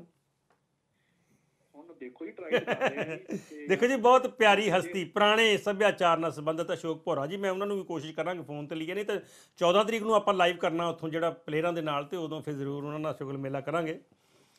ਤੇ ਹੋਰ ਕੀ ਜਾਣਕਾਰੀ ਭਾਜੀ ਹੁਣ ਤੋਂ ਹਾਂਜੀ। ਮੱਖਣ ਭਾਜੀ ਹੁਣ ਰਾਜਾ ਹਸਪੀਟਲ ਤੋਂ ਹਾਂਜੀ। ਜਿਹੜੇ ਆਪਣੇ ਫ੍ਰੀ ਫੂਡ ਆ ਜੀ ਜਲੇਬੀਆਂ ਪਕੌੜੇ ਚਾਹ ਦੀ ਸੇਵਾ ਉਹਨਾਂ ਨੂੰ ਹੋ ਰਹੀ ਆ। ਹੂੰ। ਤੇ ਗੁਰੂ ਘਰਾਂ ਵੱਲੋਂ ਲੰਗਰ ਦੀ ਸੇਵਾ ਹੋ ਰਹੀ ਸਾਰਿਆਂ ਦੀ ਅੱਛਾ ਜੀ। ਤੇ ਹੋਰ ਕੀ ਜਾਣਕਾਰੀ ਦੇਣੀ ਚਾਹੁੰਦੇ ਸਿਕਿਉਰਿਟੀ ਵਗੈਰਾ ਦੀ ਜ਼ਰੂਰਤ ਪੈਂਦੀ ਉੱਥੇ ਜਾਂ ਠੀਕ ਮਾਹੌਲ ਵੈਸੇ ਹੀ ਲੋਕ ਠੀਕ ਹੁੰਦਾ? ਨਹੀਂ ਸਿਕਿਉਰਿਟੀ ਤੁਹਾਨੂੰ ਪਤਾ ਪੰਜਾਬੀਆਂ ਦਾ ਮਿਲਦਾ ਸਿਕਿਉਰਿਟੀ ਤੇ ਪੁਲਿਸ ਜ਼ਰੂਰੀ ਹੈ ਜੀ। ਤੇ ਇੱਕ ਐਸਪੀ 20 ਪੁਲਿਸ ਵਾਲੇ ਆ ਤੇ 40 ਕੁ ਸਿਕਿਉਰਿਟੀ ਵਾਲੇ ਕਰਨੇ ਪਏ ਕਿਉਂਕਿ ਦਰਸ਼ਕਾਂ ਦੇ ਹਿਸਾਬ ਨਾਲ ਉਹ ਮੰਗ ਪੁਲਿਸ ਦੀ ਡਿਮਾਂਡ ਜਿਹੜੀ ਆਪਣੀ ਹੁੰਦੀ ਆ ਰੂਲ ਆਫ ਰੈਗੂਲੇਸ਼ਨ ਹੂੰ। ਸਿਟੀ ਦੇ ਉਹ ਉਹ ਵੀ ਪੂਰੇ ਕਰਨੇ। ਪੁਲਿਸ 20 ਪੁਲਿਸ ਵਾਲੇ ਤੇ 40 ਕੁ ਸਿਕਿਉਰਿਟੀ ਵਾਲੇ ਅੱਛਾ ਇੱਕ ਆਪਾਂ ਨਾਰਾ ਜਿਹੜਾ ਲਾਇਆ ਹੁਣ ਯੂਨਾਈਟਿਡ ਸਪੋਰਟਸ ਕਲੱਬ ਵੱਲੋਂ ਨਾਰਾ ਜਿਹੜਾ ਲੱਗਿਆ ਹੈ ਡਰੱਗ ਫ੍ਰੀ ਕਬੱਡੀ ਤੇ ਨਾਲ ਇਹ ਵੀ ਬੇਨਤੀ ਕੀਤੀ ਗਈ ਹੈ ਜਿਹੜੇ ਦਰਸ਼ਕ ਨੇ ਜਿਹੜੇ ਉੱਥੇ ਮਹਿਮਾਨ ਆਉਂਦੇ ਨੇ ਦੂਰੋਂ ਨੇੜਿਓਂ ਦੇਖਣ ਵਾਸਤੇ ਆਉਂਦੇ ਨੇ ਉਹਨਾਂ ਨੂੰ ਵੀ ਬੇਨਤੀ ਕੀਤੀ ਗਈ ਵੀ ਉਸ ਦਿਨ ਨਸ਼ੇ ਤੋਂ ਪਰਹੇਜ਼ ਕਰਨ ਜੇ ਕੋਈ ਪੈਗ ਪੁਗ ਲਾਉਂਦਾ ਤਾਂ ਸ਼ਾਮੀ ਘਰੇ ਜਾ ਕੇ ਲਾਵੇ ਤੇ ਕਿੰਨਾ ਕੁ ਅਸਰ ਹੋ ਜੂ ਲੱਗਦਾ ਤੁਹਾਨੂੰ? ਆਪਾਂ ਜੀ ਬੇਨਤੀ ਕਰ ਸਕਦੇ ਆ ਆਪਾਂ ਪਲੇਅਰਾਂ ਦੇ ਜਿਹੜੇ ਟੈਸਟ ਆ ਉਹ ਆਪਾਂ ਸਾਰੀਆਂ ਰਿਪੋਰਟਾਂ ਆਪਣੇ ਕੋਲ ਆ ਹਾਂ ਪਲੇਅਰਾਂ ਦੇ ਸਾਰੇ ਠੀਕ ਹੈ ਜਿਹੜੇ ਜਿਹੜੇ ਇੰਡੀਆ ਤੋਂ ਜੀ। ਉਹਨਾਂ ਦੀਆਂ ਜਿਹੜੇ ਕੱਲ ਨੂੰ ਪਹੁੰਚ ਰਹੇ ਆ ਉਹਨਾਂ ਦੇ ਟੈਸਟ ਅਸੀਂ ਫਰਾਈਡੇ ਕਰ ਰਹੇ ਹਾਂ ਸ਼ਾਮ। ਅੱਛਾ ਠੀਕ ਹੈ। ਡਾਕਟਰ ਸੱਦ ਕੇ ਉਹਨਾਂ ਦੇ ਪਹਿਲਾਂ ਖੇਲਣ ਤੋਂ ਕਰ ਰਹੇ ਹਾਂ 24 ਘੰਟੇ। ਠੀਕ ਹੈ। ਤੇ ਉਹ ਰਿਪੋਰਟਾਂ ਮੱਖਣ ਭਾਜੀ ਨੂੰ ਸਾਨੂੰ ਜ਼ਰੂਰੀ ਦੇਣੀਆਂ ਪੈਣੀਆਂ ਜੀ। ਅਸੀਂ। ਡਾਕਟਰ ਸਾਹਿਬ ਸੱਦ ਰਹੇ ਆ ਫਰਾਈਡੇ ਟੈਸਟ ਕਰਾ ਰਹੇ ਆ ਉਹਨਾਂ ਦੇ ਸਾਰੇ।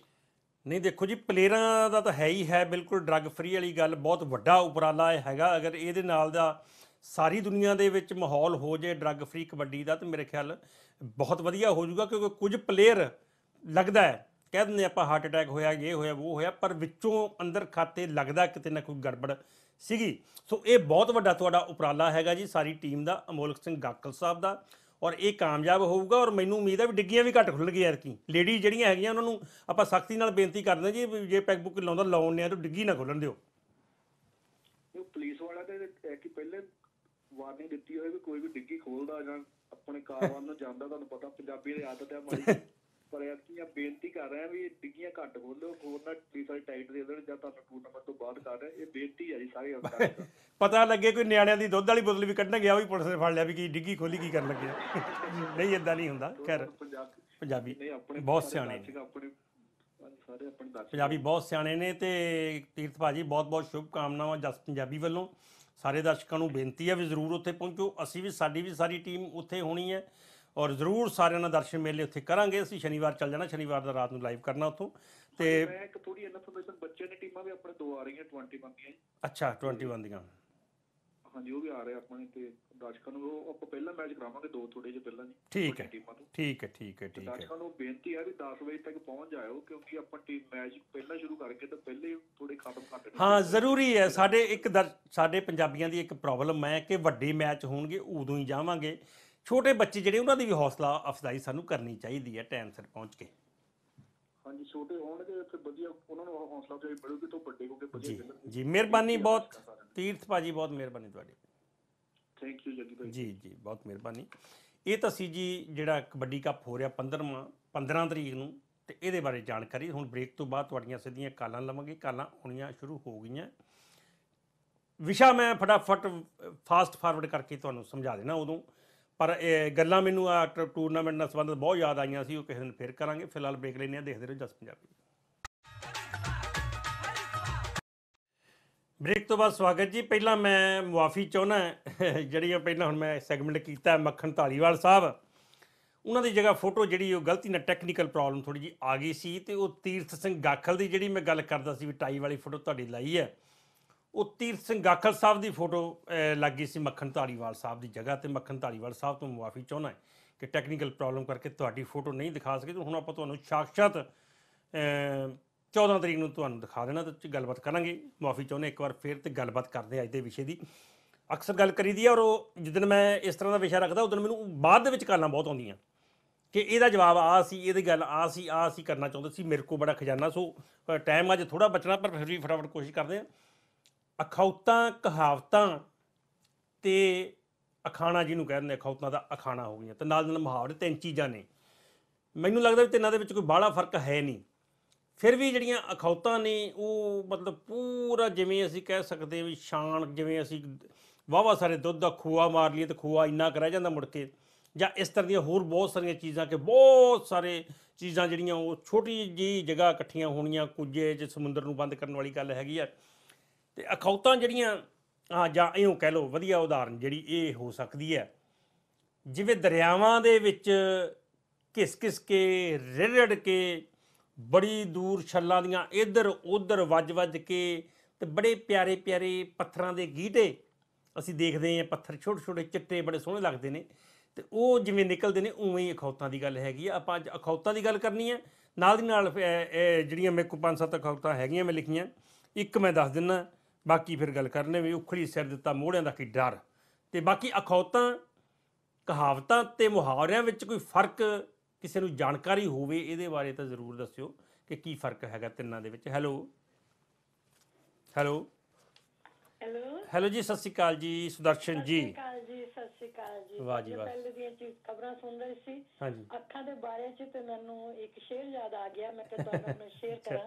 चलो अखा अखा वाकई बोल दिया जी। कि शेर है कि आपकी आँखें ऊँची हुई। जी। आपकी आँखें ऊँची हुई तो दुआ बन गई। जी। नीची हुई तो हया बन गई। जी। जो झुककर उठी तो खता बन गई। वाह जी वाह। और जो उठकर झुकी तो अदा बन अदा बन गई बिल्कुल जी बिल्कुल। तो अखा जड़ियाँ हैं बोल दिया जी। ਤੇ ਸੁਦਰਸ਼ਨ ਜੀ ਅਖੌਤਾਂ ਬਾਰੇ ਕੀ ਵਿਚਾਰ ਨੇ ਤੁਹਾਡੇ ਕਿ ਅਖੌਤਾਂ ਹਿੰਦੀ 'ਚ ਵੀ ਹੁੰਦੀਆਂ ਹਰ ਭਾਸ਼ਾ 'ਚ ਹੁੰਦੀਆਂ ਕੌਣ? ਦੁਬਾਰਾ ਮੈਂ ਕਹਿਣਾ? ਅਸੀਂ ਅਖੌਤਾਂ ਕਹਿੰਦੇ ਨੇ ਕਹਾਵਤਾਂ ਅਖਾਣ ਕਹਿੰਦੇ ਨੇ ਜਿਹਨੂੰ ਅਖਾਣ। ਹਾਂ ਹਾਂ ਕਹਾਵਤਾਂ ਠੀਕ ਹੈ। ਹਾਂਜੀ। ਇਹ ਉਖਲੀ ਚ ਸਿਰ ਦਿੱਤਾ ਮੋੜਿਆਂ ਦਾ ਕੀ ਡਰ? ਜਿਵੇਂ ਹਾਂ ਬਿਲਕੁਲ। ਜੇ ਇੱਕ ਵਾਰੀ ਤੁਸੀਂ ਕੁੱਦ ਪਏ ਕਿਸੇ ਚੀਜ਼ ਦੇ ਵਿੱਚ ਕੰਮ ਕਰਨ ਦੇ ਵਿੱਚ ਫਿਰ ਡਰਨਾ ਕੀ? ਜੀ ਬਹੁਤ ਵਧੀਆ ਇਹਦੇ ਚ ਸੁਨੇਹਾ ਹੈਗਾ। ਜੇ ਤੁਸੀਂ ਸ਼ੁਰੂ ਕਰ ਹੀ ਲਿੱਤਾ ਕੰਮ ਤਾਂ ਫਿਰ ਡਰਨਾ ਕੀ? ਜਦ ਉਖਲੀ ਪਰ- ਦੀ ਅਸਰ ਤਾਂ ਫਿਰ ਮੂਸਲੋਂ ਸੇ ਕੀ ਡਰ? ਨਹੀਂ ਪਰ ਇਹਦੇ ਚ ਇੱਕ ਚੀਜ਼ ਹੈਗੀ ਆ ਇਹ ਚੀਜ਼ਾਂ ਅਲੱਗ-ਅਲੱਗ ਜਗ੍ਹਾ ਅਲੱਗ-ਅਲੱਗ ਫਿੱਟ ਬੈਠਦੀਆਂ। ਹੁਣ ਜਿੱਦਾਂ ਕੋਈ ਮਕਾਨ ਸ਼ੁਰੂ ਕਰ ਲਿਆ, ਉਹ ਤੇ ਖਰਚਾ ਕਰੀ ਜਾਂਦੇ ਕਰੀ ਜਾਂਦੇ, ਕੋ- ਕੋ- ਲੋਕੀ ਵੀ ਕਹਿੰਦੇ ਕੋਈ ਨਹੀਂ ਜਿਹੜੀ ਆ ਟੁੱਟੀ ਯਾਰ 200 ਵਾਲੀ ਨਾ ਲਾ ਤੂੰ 2000 ਵਾਲੀ ਲਾ। ਤੇ ਉਹ ਫਿਰ ਕਹਿੰਦੇ ਵੀ ਉਖਲੀ ਸਿਰ ਦਿੱਤਾ ਮੋੜੇ ਦਾ ਕੀ ਡਰ? ਚੰਗੀ ਤਰ੍ਹਾਂ ਉਹ ਔਖਲੀ ਆ ਜਾਂਦਾ ਉਹ ਡਾਡਾ ਸਿਰ ਆ ਜਾਂਦਾ ਔਖਲੀ ਦੇ ਵਿੱਚ। ਬਾਅਦ- 'ਚ ਪਤਾ ਲੱਗਦਾ। ਉਹ। ਸੋਚ ਕੇ ਕਰਨਾ ਚਾਹੀਦਾ ਚਲੋ ਉਹਨੂੰ ਸੋਚਣਾ ਚਾਹੀਦਾ। ਬਹੁਤ ਮਿਹਰਬਾਨੀ ਜੀ ਬਹੁਤ ਮਿਹਰਬਾਨੀ। ਤੁਹਾਡਾ ਤੁਹਾਡਾ ਇੱਕ ਹੋਰ ਤੁਸੀਂ ਕਹਿ ਰਹੇ ਸੋ ਵੀ ਉਹ ਬੰਦਾ ਕਹਿੰਦਾ ਕਿ ਜਨਾਨੀ ਕਹਿੰਦੀ ਕਿ ਮੇਰੇ ਵੱਲ ਮੂੰਹ ਕਰਕੇ ਸੋ। ਮੈਨੂੰ ਡਰ ਲੱਗਦਾ। ਹਾਂਜੀ ਤੇ ਤੁਸੀਂ ਕਿਹਾ ਵੀ ਜੇ ਤੇਰੇ ਵੱਲ ਮੂੰਹ ਕਰਕੇ ਸੋਵਾਂਗਾ ਤੇ ਮੈਂ ਮੈਂ ਸਾਰੀ ਰਾਤ ਡਰਦਾ ਰਹਾਂ ਹਾਂਜੀ। ਤੇ ਜੇ ਤੁਸੀਂ ਬਾਈ ਚਾਂਸ ਕਮਲਜੀਤ ਨੂੰ ਕਹਿ ਦਿੱਤਾ ਤੇ ਤੁਹਾਡਾ ਤੇ ਹੁੱਕਾ ਪਾਣੀ ਬੰਦ ਨਹੀਂ ਨਹੀਂ। ਉਹ ਮੇਰੇ ਖਿਆਲ ਪ੍ਰੋਗਰਾਮ ਨਹੀਂ ਦੇਖ ਰਹੀ ਉਹ ਸੈਰ ਕਰਨ ਗਈ- ਗਈ ਹੋਈ ਆ। ਨਹੀਂ ਤਾਂ ਮੈਂ ਕਿ ਹੁੱਕਾ ਪਾਣੀ ਚਲੋ ਮਿਹਰਬਾਨੀ ਜੀ ਸ਼ੁਗਲ ਮੇਲਾ ਹੁੰਦਾ ਬਹੁਤ ਮਿਹਰਬਾਨੀ ਤੁਹਾਡੀ। ਓਕੇ ਜੀ ਬਿਲਕੁਲ ਬਿਲਕੁਲ। ਓਕੇ ਜੀ ਓਕੇ। ਹੈਲੋ। ਹੈਲੋ ਜੀ ਸਤਿ ਸ਼੍ਰੀ ਅਕਾਲ ਜੀ। ਹਲੋ ਬਈ ਜੱਗੀ ਸਾਹਿਬ। ਹਾਂਜੀ ਹਾਂਜੀ ਮਾਸੀ ਜੀ ਪੈਰੀ ਪੈਣਾ ਕੀ ਹਾਲ ਚਾਲ ਹੈ ਤੂੰ ਹਸਾਉਣਾ ਹੈਗਾ। ਜੇ ਸਾਨੂੰ ਨਾ ਅੱਛਾ ਹੋਗਾ ਤਾਂ ਵੀ ਸਾਧਨ ਹੈ ਨਾ? ਨਹੀਂ ਹਾਸੇ ਵਾਲੀ ਤਾਂ ਗੱਲ ਮੈਂ ਨਹੀਂ ਫਿਰ ਕੋਈ ਇਦਾਂ ਦੀ ਕਹਿੰਦੇ ਆ ਕਿ ਮੇਰੇ ਘਰ ਵਾਲੀ ਕਹਿੰਦੀ ਹੈ ਮੇਰੇ ਬਣੀ ਮੂੰਹ ਸੌ ਕਿ ਮੇਰੇ ਬਣੀ ਕਰਕੇ ਸੌ ਮੈਂ ਡਰਦਾ ਕੋਈ ਡਰ ਡਰ ਦੀ ਲੋੜ ਨਹੀਂ ਅੱਛਾ। ਹੂੰ? ਕੋਈ ਡਰ ਮੈਂ ਕਿਸ ਤੋਂ ਨਹੀਂ ਅੱਛਾ ਅਖੌਤਾ ਮਾਸੀ ਅਖੌਤਾ ਕੋਈ ਅਖੌਤ ਬ- ਦੱਸੋਗੇ? ਜਿਹੜੀ ਤੁਹਾਡੀ ਕਬੱਡੀ ਹੈ ਹੈ? ਹਾਂਜੀ। ਕਬੱਡੀ ਮੈਨੂੰ ਇੰਨੀ ਚੰਗੀ ਲੱਗਦੀ ਕਿ ਮੇਰਾ ਭਰਾ ਕਬੱਡੀ ਦਾ ਪਲੇਅਰ ਸੀ ਨਾ। ਜੀ। ਤੇ ਫਿਰ ਤੇ ਇਹ ਇਹ ਹੋ ਗਈ ਡੇਰ ਯੂਨੀਵਰਸਿਟੀ ਯੂਨੀਵਰਸਿਟੀ ਹਾਂਜੀ ਹਾਂਜੀ ਐਤਵਾਰ ਨੂੰ। ਹਾਂ ਯੂਨੀਵਰਸਿਟੀ ਸਾਡੇ ਰਿਸ਼ਤੇਦਾਰ ਆ। ਮੇਰੇ ਆ ਜਾਓ ਤੁਸੀਂ ਆ ਜਾਓ ਮੈਂ ਫਿਰ ਤੁਹਾਡੀ ਫੋਟੋ ਤੁਸੀਂ ਆ ਜਾਓ ਉੱਥੇ ਮੈਂ ਫਿਰ ਤੁਹਾਡੀ ਫੋਟੋ ਖਿੱਚ ਕੇ ਦਿਖਾਇਆ ਕਰੂੰਗਾ ਜਦੋਂ ਤੁਸੀਂ ਆਇਆ ਕਰੋਗੇ ਤੇ ਤੁਸੀਂ ਉੱਥੇ ਆਇਓ ਆਪਾਂ ਮਿਲਾਂਗੇ ਫਿਰ ਮੈਂ ਤੁਹਾਡੀ ਫੋਟੋ ਖਿੱਚ ਕੇ ਦਿਖਾਇਆ ਕਰੂੰਗਾ ਸਭ ਦਿਖਾਊਂਗਾ ਸਾਡੇ ਦਰਸ਼ਕਾਂ ਨੂੰ ਵੀ ਇਹ ਆ ਮਾਸੀ। ਹੇਵਨ। ਹੇਵਡ ਹਾਂਜੀ ਹਾਂਜੀ। ਅੱਛਾ ਮੇਰੀ ਗੱਲ ਸੁਣੋ। ਤੇ ਫ੍ਰੀ ਮਾਰ ਤੇ ਯੂਨੀਵਰਸਿਟੀ ਦਾ ਇੱਕੋ ਗੁਰਦੁਆਰਾ ਇੱਕੋ ਹੀ। ਹਾਂਜੀ ਹਾਂਜੀ ਹਾਂਜੀ। ਅੱਛਾ ਮੈਂ ਮੇਰੀ ਗੱਲ ਸੁਣੋ। ਜੇ ਤੁਸੀਂ ਉੱਥੇ ਆਏ ਮੈਂ ਫਿਰ ਲੋਕਾਂ ਨੂੰ ਫੋਟੋ ਦਿਖਾਊਂਗਾ ਵੀ ਇਹ ਮੇਰੀ ਮਾਸੀ ਆ ਜਿਹਨੇ ਪਿਆਰ ਬਹੁਤ ਕੀਤਾ ਹਜੇ ਤੱਕ ਤੋਹਫਾ ਕੋਈ ਨਹੀਂ ਗਿਫਟ ਕੋਈ ਨਹੀਂ ਦਿੱਤਾ। ਨਹੀਂ ਸਕਦੀ ਸਾਡੇ ਕੋਲ ਲਿਆਉਣ ਵਾਲਾ ਨਹੀਂ ਹੈਗਾ ਚਲੋ ਮਿਹਰਬਾਨੀ ਬਹੁਤ ਮਿਹਰਬਾਨੀ ਤੁਹਾਡੀ ਗੱਲਬਾਤ ਕਰਨ ਲਈ ਅਖੌਤਾਂ ਦੀ ਮੈਂ ਗੱਲ ਕੀਤੀ ਸੀ ਵੈਸੇ ਉਹ ਹਜੇ ਇਹ ਗੱਲਬਾਤ ਬਣੀ ਨਹੀਂ ਹੈਗੀ। ਅਖੌਤਾਂ ਕਹਾਵਤਾਂ ਬਾਰੇ ਜਿਹੜੀ ਗੱਲਬਾਤ ਕਰਦੇ ਆ ਤੇ ਇਹ ਚਲੋ ਕਾਲ ਇੱਕ ਲੈ ਹੀ ਲੈਨੇ ਹੋਰ। ਹੈਲੋ। ਹੈਲੋ ਜੀ ਸਤਿ ਸ਼੍ਰੀ ਅਕਾਲ ਜੀ। ਸਤਿ ਸ਼੍ਰੀ ਅਕਾਲ ਜੀ। ਜੀ ਰਾਜ ਕੁਮਾਰ ਜੀ ਸਭ ਜੀ ਜੱਗੀ ਸਾਹਿਬ ਜੀ। ਰਾਜਕੁਮਾਰ ਜੀ ਅਖੌਤਾਂ ਜਿਹੜੀਆਂ ਅਖੌਤਾਂ ਕਹਾਵਤਾਂ ਤੇ ਮੁਹਾਵਰਿਆਂ 'ਚ ਕੋਈ ਫ਼ਰਕ ਹੈਗਾ ਜਾਂ ਇਹ ਇਹ ਮਤਲਬ ਸਕੇ ਭੈਣ ਭਰਾ ਹੀ ਆ? ਨਹੀਂ ਭੈਣ ਭਾਈ ਹੈ ਤੇ ਗੱਪਾਂ ਹੈ ਮਤਲਬ ਕਰਨਾ ਆਪਾਂ। ਹੂੰ। ਇਹ ਉਹ ਮਤਲਬ ਵਿੱਚੋਂ ਤੇ ਨਾ ਕਿ ਗੱਲ ਗੱਲ ਵਿੱਚ ਮਤਲਬ ਨਿਕਲਿਆ ਜੀ। ਕੋਈ ਯਾਦ ਹੈਗੀ ਅਖੌਤ ਅਖਾਣ ਜਿਹੜੀ ਕਿ ਢੁਕਦੀ ਹੋਵੇ ਕਿਸੇ ਗੱਲ ਤੇ ਕੋਈ ਜਿਵੇਂ ਆਪਾਂ ਉਖਲੀ ਸਿਰ ਦਿੱਤਾ ਮੋਹੜਿਆਂ ਦਾ ਕੀ ਡਰ ਦੀ ਗੱਲ ਕੀਤੀ ਹੈ? ਇੱਕ ਅਸੀਂ ਪਹਿਲਾਂ ਵੀ ਗੱਲ ਕੀਤੀ ਅਮ, ਅੱਖਾਂ ਨੇ ਨਾ ਖਾਦਾ ਤਾਂ ਮੂੰਹ ਨੇ ਕੀ ਖਾਣਾ ਬਿਲਕੁਲ ਚੀਜ਼ ਬਣੀ ਖਾਣ ਨੂੰ ਚੰਗੀ ਲੱਗੀ ਤੇ ਮੇਰਾ ਦੋਸਤ ਇੱਕ ਬਜ਼ਗਾ ਉਹਨੇ ਕਹਿਣਾ ਕਹਿੰਦੇ ਚੀਜ਼ ਖਾਣ ਨੂੰ ਲੱਗਦੀ ਚੰਗੀ। ਹਿੰਗ ਲੱਗੇ ਨਾ ਫਟਕੜੀ ਰੰਗ ਚੋਖਾ। ਯਾ ਬਿਲਕੁਲ ਸਹੀ ਗੱਲ ਹੈ ਜੀ। ਇਹ ਚੀਜ਼ਾਂ ਕਾਫੀ ਮਾਇਨਾ ਰੱਖਦੀਆਂ ਸਾਡੇ ਵੈਸੇ ਜ਼ਿੰਦਗੀ ਦੇ ਵਿੱਚ ਬਹੁਤ ਇਹਨਾਂ ਦਾ ਮਹੱਤਵ ਹੁੰਦਾ ਸੀ। ਆਮ ਜ਼ਿੰਦਗੀ ਵਿੱਚ ਜੀ ਆਮ ਜ਼ਿੰਦਗੀ ਤੇ ਅੱਜ ਕ- ਅੱਜ ਕੱਲ ਨਹੀਂ ਹੈਗੇ। ਕਈ ਵੈਸੇ ਗਲਤ ਜਗ੍ਹਾ ਵੀ ਕਹਿ ਦਿੰਦੇ ਲਾ ਦਿੰਦੇ ਮੁਹਾਵਰਾ ਕਹਾਵਤ ਕੋਈ ਹੁੰਦੀ ਹੋਰ ਆ ਉਹਨੂੰ ਹੋਰ ਵੀ ਪਾਸੇ ਫਿੱਟ ਕਰ ਦਿੰਦੇ ਆ, ਹਾਂਜੀ। ਜਿਨ੍ਹਾਂ ਨੂੰ ਨਹੀਂ ਪਤਾ ਹੁੰਦਾ। ਮੈਂ ਥੋੜੀ ਜਿਹੀ ਆਵਾਜ਼ ਕੱਟ ਕਰ ਲਾਂ।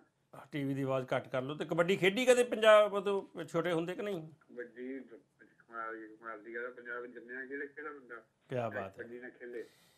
ਕਿਉਂਕਿ ਅੱਜ ਕੱਲ ਇਹ ਚੀਜ਼ ਘਟ ਗਈ ਥੋੜੀ ਸਿਰਫ ਜਿਨ੍ਹਾਂ ਨੂੰ ਸ਼ੌਕ ਹੈ ਅੱਜ ਕੱਲ ਉਹੀ ਜਾਂਦੇ। ਪਹਿਲਾਂ ਜਿਨ੍ਹਾਂ ਨੂੰ ਸ਼ੌਕ ਨਹੀਂ ਵੀ ਸੀ ਉਹ ਵੀ ਸ਼ਾਮ ਨੂੰ ਵਾੜਾਂ ਦੇ ਵਿੱਚ ਜਾ ਕੇ ਤੇ ਉਹ ਹੋਰ ਕੋਈ ਹੁੰਦਾ ਨਹੀਂ ਸੀ ਸਾਧਨ। ਗੱਲ ਛੱਡ ਦਿਓ ਜੀ। ਹਾਂਜੀ। ਮੈਨੂੰ ਮੇਰੇ ਤੇ ਮਿਨਾਸਰ ਮੇਰੇ ਸੀ ਮੈਂ ਕਹਿੰਦਾ ਵੀ ਆਪਾਂ ਸਾਹ ਪਾ ਦਈਏ ਦੂਰੋਂ ਹਾਂ ਸਹੀ ਚਲੋ ਮਿਹਰਬਾਨੀ ਜੀ ਮਿਹਰਬਾਨੀ ਅੱਜ ਖਬਰ ਬਹੁਤ ਵੱਡੀ ਖੇਲੇ ਜੀ ਤੇ ਬਾਕੀ ਤੁਸੀਂ ਗਾਣਾ ਅਹ, ਗਾਇਆ ਸੀ ਪ੍ਰੋਗਰਾਮ ਸ਼ੁਰੂ ਕੀਤਾ ਨਾ ਜੀ ਜੈ ਸਿੰਘ ਜੱਗਾ ਦਾ ਪ੍ਰੋਗਰਾਮ ਜੈ ਸਿੰਘ ਜੱਗਾ ਹੁੰਦੇ ਹੁੰਦੇ ਸੀ ਅੱਖੀਆਂ ਅੱਖੀਆਂ ਹਾਂਜੀ ਹਾਂਜੀ ਮੈਂ ਪੜੀਆਂ ਸਾਂਭ ਕੇ ਰੱਖੀਆਂ ਫਿਰ ਵੀ ਬੋਲ ਪਈਆਂ। ਉਹਨਾਂ ਨੇ ਅੱਗੇ ਪਿੱਛੇ ਉਹ ਕਰੇ ਪਾਏ ਹੋਣੇ ਹੱਥ ਵਿੱਚ ਅੱਗੇ ਜਗ- ਪਿੱਛੇ ਦਿੱਤੀਆਂ ਨੇ ਉਹ ਸਾਲ ਵੀ ਵਧੀਆ ਨੇ ਤੇ ਹਾਂ। ਬਹੁਤ ਬਹੁਤ ਪਿਆਰਾ ਗਾਉਂਦੇ ਹੁੰਦੇ ਸੀ। ਜਗਤ ਸਿੰਘ ਜੱਗੇ ਦਾ ਗੀਤ ਇਹ ਵਧੀਆ ਸੀਗਾ ਠੀਕ ਹੈ ਤੁਸੀਂ। ਕੀਤਾ ਸੀ ਪ੍ਰੋਗਰਾਮ ਇੱਕ ਦਿਨ ਮੈਂ ਆਪਣੇ। ਲਾਇਆ ਵੀ ਲਾਈ ਕਾਲ ਤੇ ਨਹੀਂ ਲੱਗੀ ਮੇਰੀ ਕਾਲ। ਚਲੋ ਕੋਈ ਗੱਲ ਨਹੀਂ ਆਪਾਂ ਜ਼ਰੂਰ ਗੱਲਬਾਤ ਕਰਾਂਗੇ। ਮੈਨੂੰ ਬਹੁਤ ਤੁਸੀਂ ਮੈਨੂੰ ਬਹੁਤ ਸੋਹਣੇ ਲੱਗਦੇ ਹੋ ਮੈਨੂੰ ਚੰਗੇ ਲੱਗਦੇ ਮੇਰਾ ਭਰਾ ਚੰਗਾ ਲੱਗਦਾ ਮੈਨੂੰ ਵਾਹ ਜੀ ਵਾਹ ਚਲੋ ਬੜੀ ਮਿਹਰਬਾਨੀ। ਲੋਕਾਂ ਨੂੰ ਅੱਛੇ ਲੱਗਦੇ ਆ ਮੈਨੂੰ ਮੇਰੇ ਦਿਲ ਵਿੱਚ ਵਾਸ ਤੇ ਅਣਜਾਣ ਸਾਹਿਬ ਦਾ ਆਪਾਂ ਸ਼ੁੱਕਰਵਾਰ ਦੀ ਸ਼ੁੱਕਰਵਾਰ ਹੁਣ ਪਹਿਲਾਂ ਵਾਂਗੂ ਨਾ ਰੁਟੀਨ ਬਣ ਜਾਣੀ ਪ੍ਰੋਗਰਾਮ ਦੀ ਇੱਕ ਦੋ ਹਫ਼ਤਿਆਂ ਦੇ ਵਿੱਚ। ਤੇ ਕੁਝ ਹੋਰ ਥੋੜਾ ਬਹੁਤ ਚੇਂਜ ਓਵਰ ਕਰਾਂਗੇ ਤੇ ਉਹ ਸ਼ੁੱਕਰਵਾਰ ਵਧੀਆ ਨਾਲੇ ਪਿੰਡਾਂ ਦੀ ਗੱਲ ਹੋ ਜਾਂਦੀ ਨਾਲੇ ਇਤਿਹਾਸ ਦੀ ਗੱਲ ਹੋ ਜਾਂਦੀ ਹੈ ਨਾਲੇ ਪੰਜਾਬ ਦੀ ਗੱਲ ਹੋ ਜਾਂਦੀ ਹੈ ਨਾਲੇ ਕੋਈ ਸਿਆਣੀ ਗੱਲ ਚੰਗੀ ਗੱਲ ਸੁਣਨ ਨੂੰ ਮਿਲ ਜਾਂਦੀ ਹੈ। ਬਹੁਤ ਜੀ ਬਹੁਤ ਬਹੁਤ ਮਿਠਾਸ ਹੈ ਉਹਨਾਂ ਗੱਲ ਵਿੱਚ ਬੜੀ ਬੜੀ ਬੜੀ ਸਖਤ ਨਾਲ ਗੱਲ ਕਰਦੇ ਹੋ।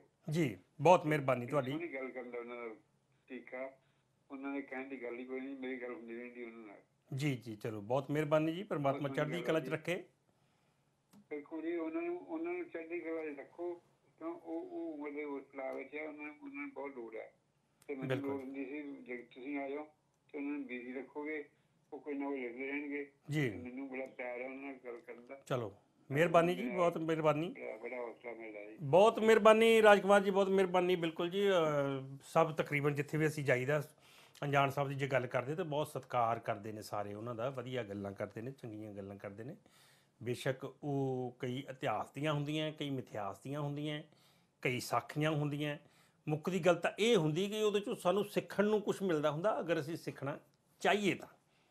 ਬ੍ਰੇਕ ਤੋਂ ਬਾਅਦ ਫਿਰ ਤੁਹਾਡੀਆਂ ਕਾਲਾਂ ਲਵਾਂਗੇ, ਦੇਖਦੇ ਰਹੋ, ਜਸ ਪੰਜਾਬ।